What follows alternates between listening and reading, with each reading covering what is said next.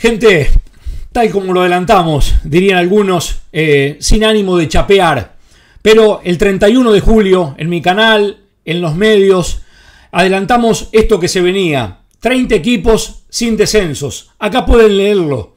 Esto es lo que se ha modificado en la asamblea de hoy.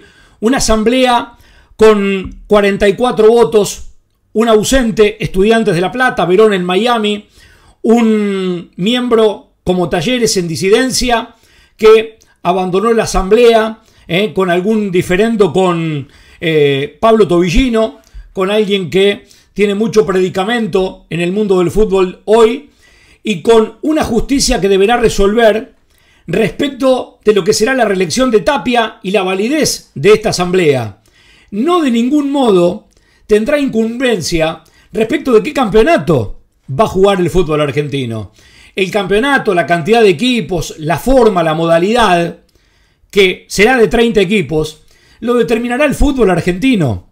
En todo caso, la AFA ganó la primera batalla, busca ir a la justicia y que la Cámara resuelva respecto de el fallo de la IGJ que impugna esta asamblea, que la declara inválida. De todas maneras, hubo tres vedores hoy de la asamblea de la IGJ que obviamente fiscalizaron esta asamblea con un discurso de Tapia, obviamente revalidando los méritos que tiene el fútbol argentino con la selección campeona del mundo, con los futbolistas nacidos aquí, ante este debate que se eh, da en el fútbol argentino respecto de sociedades anónimas deportivas, diciendo los campeones del mundo juegan en clubes en Europa que son sociedades anónimas deportivas.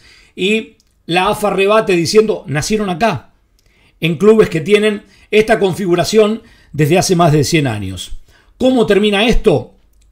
En la justicia probablemente, tal vez en marzo del año que viene proclamándose la Cámara respecto de el periodo de reelección que compone al nuevo mandato de, de Tapia, respecto a si acepta o no el cambio de jurisdicción para la sede de la AFA. La AFA se traslada de Viamonte a Ezeiza, a la provincia de Buenos Aires, para salirse del ámbito de la IGJ, para apartarse del ámbito de la Inspección General de Justicia. También eh, cuando habló de los dedos con mermelada y el 38-38 también fue un dedo en la llaga de Rodrigo Escribano. Pobre Escribano eh, logró todos los sopapos que tenían como destinatario a Fasi. Escribano estuvo en la mesa que contó los votos el 38-38 en 2015 con Pascual Cayela, el vicepresidente por entonces de Estudiantes de La Plata, y con eh, Ledo, eh, con el, presidente por entonces de Olimpo de Bahía Blanca. Eh, estos fueron los que se encargaron de contar los votos, por eso Tapia socarronamente habló de dedos pegados con mermelada en ese 38 a 37 que dicen ellos que ganaron aquella vez en 2015. Escribano era un opositor a Tapia por entonces, se asegura, y estaba como representante del espacio de Marcelo Tinelli en esa famosa elección. Todo tiene que ver con todo en esto de lo que ha ocurrido hoy en Ezeiza, donde Tapia es aclamado presidente, se anticipa la elección que debió terminar el mandato de Tapia el año siguiente, en el año 2025. Esto podrá quedar objetado por parte del gobierno si es que el gobierno quiere intervenir la AFA.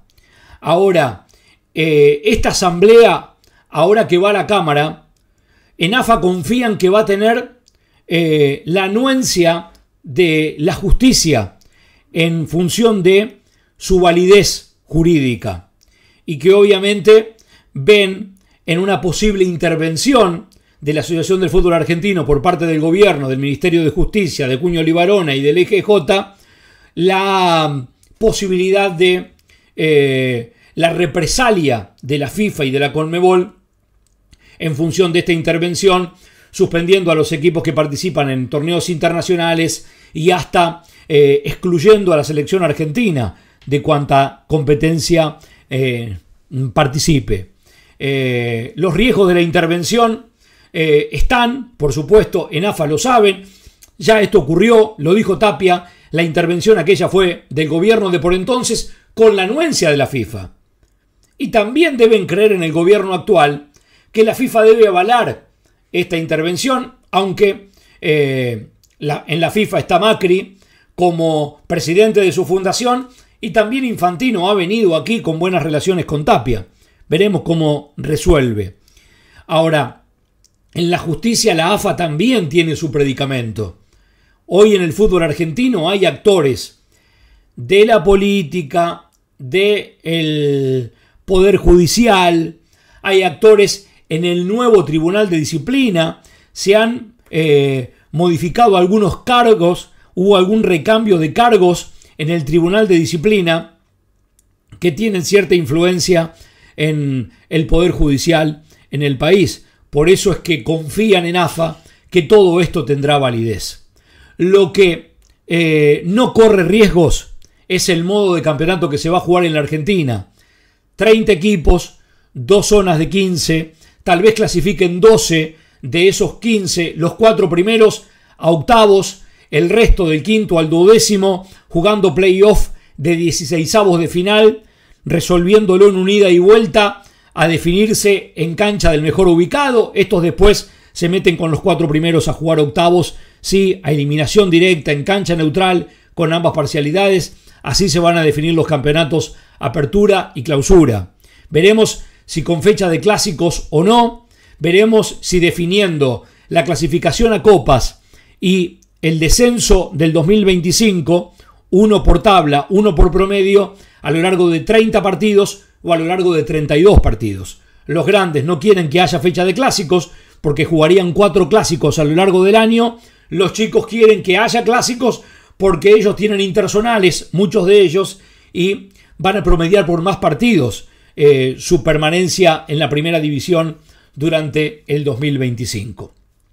Todo esto en el trazo fino de la letra de qué campeonato jugar, eh, de cuántos clasifican a los playoffs, a determinarse en las próximas semanas. Lo que sí está claro que en el fútbol argentino no hay descensos y que juegan 30 equipos la próxima temporada. Después la justicia determinará la validez de la asamblea en función de la reelección de Tapia, de los mandatos de los miembros del comité ejecutivo, como aquí le es, de esto que se ha modificado y de el cambio de jurisdicción de la sede de la AFA. Todo esto a resolverse por la justicia. Una AFA que va a la justicia justamente a buscar que la Cámara les dé la razón ante el fallo de la IGJ que impugnaba la asamblea. Una asamblea que de todas maneras se dio.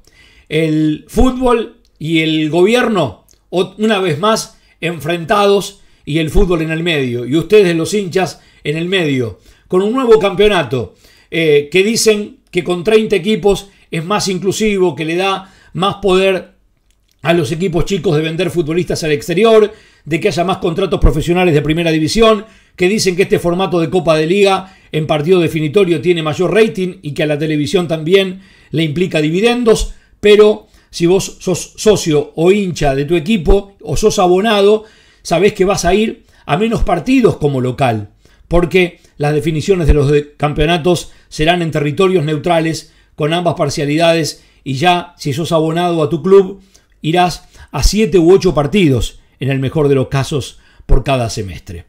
Este es el fútbol argentino que hay, que hoy ha votado por Tapia por aclamación, 44 votos alzados, 44 manos alzadas y que ha determinado que no haya descensos. Nadie quiere descender en el fútbol argentino. Esta es la verdad. La utopía de los 20 o de los 22 quedó allá lejos y hace tiempo. El fútbol argentino en los últimos 10 años ya concluye que definitivamente ha cambiado su mapa, que hay clubes del interior cada vez más fuertes, que hay estadios en el interior cada vez más fuertes, que los clubes del interior han triplicado su cantidad de socios y que ese arraigo popular tiene una cuestión de pertenencia, que muchos merecen ser de primera y son mayoría. Los clubes grandes de la Argentina no tienen predicamento para imponer qué campeonato jugar. No tienen voz ni voto. O en realidad tienen, sí, un voto y son minoría respecto de una cantidad enorme que forman parte de una tendencia de aquellos que ven peligrar la condición de clubes de, o de equipos de primera división y que hacen valer su derecho, ¿cómo? Haciendo jugar un torneo cada vez más masivo. Por supuesto, la seguimos en mi canal de YouTube. Gracias por confiar en la información. Eh. Lástima que muchos colegas me han desmentido en aquel momento, pero transité 20 años los pasillos de la AFA y conozco eh, todos sus vericuetos y conocí mm, antes que nadie, el 31 de julio conocí de este proyecto que hoy se rubricó en la Asamblea de Saiza. Les mando un abrazo y por supuesto la seguimos en mi canal de YouTube con todo lo que ocurra, porque el primer round lo ganó la AFA. Esto seguirá en la justicia. Lo que no está en duda es la forma de campeonato y la cantidad de equipos y que no habrá descensos. 30 sin descensos en el 2025 en el fútbol argentino. La seguimos. Abrazo grande. Chau, chau.